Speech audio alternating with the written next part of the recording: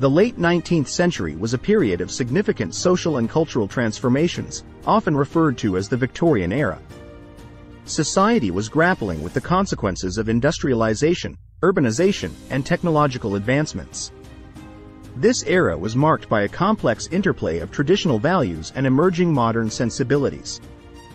The rapid industrialization of the late 19th century brought about profound changes in the structure of society. Urban centers expanded, and a new working class emerged, transforming the traditional agrarian and artisanal nature of communities.